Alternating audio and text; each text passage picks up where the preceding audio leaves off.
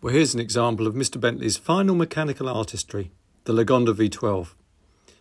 He became technical director of the Lagonda Company in 1935, and he was responsible for the development of the V12 engine, which went into production in late 1938. A recording just doesn't do justice to the symphony, so come and listen to the live performance here. If W.O. Bentley had a failing, it was he just couldn't say no and when he was asked by Alan Good, the chairman of Lagonda, to build a car in which to compete at Le Mans within six months, he did it. He used the V12 engine and re engineered the standard Lagonda V12 chassis. The race result was extremely successful, better than they could have hoped for. Unfortunately, further activities were curtailed, of course, in 1940.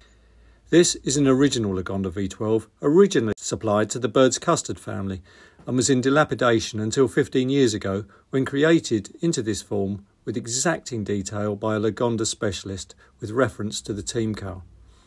It's not a project for the faint hearted and is beautifully executed. Moreover, it's had recent maintenance to make it suitable for long distance touring, and having followed this on German autobahns in a Bentley Speed 6, I can certainly vouch for that.